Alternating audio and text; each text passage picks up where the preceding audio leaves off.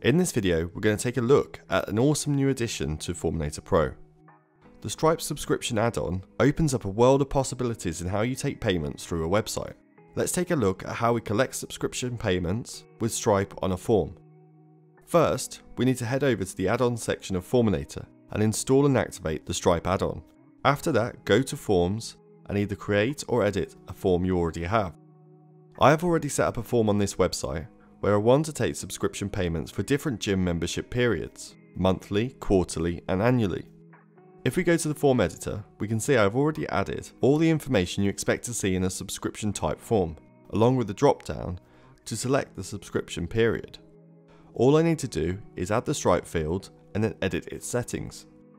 In the settings tab, we'll head to the payment plan section and now start adding the different plans we want. I will give the plan a name to match one of my drop down items and choose a subscription. Under the plan amount, we can choose either a fixed or variable amount, and that is the same with quantity. For the monthly plan, I will add $50. We choose the billing cycle in days, weeks, months or years. For this plan, I can go with a one month billing cycle. We can choose to offer a trial period if we want. I will add a 7 day trial to this plan. To connect it to my drop down selection, I need to head to the Conditions tab on this plan and add the condition for when the user selects that item in the drop down. We can now add as many plans as we need to this Stripe field. When you've added all your plans, save the form and the plans will be automatically added to your Stripe account.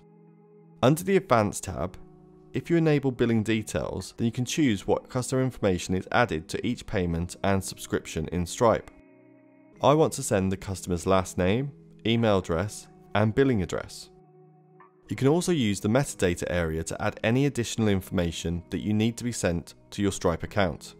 In this case, I will send the customer's phone number too.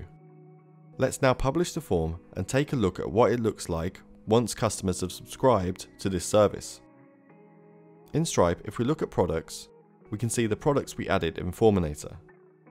Under customers, we can see the customers who have signed up and the details they added to the form.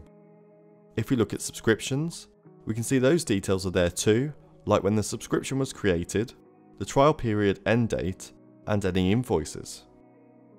That was our quick overview of the new Stripe subscriptions feature in Forminator Pro. Give it a try now.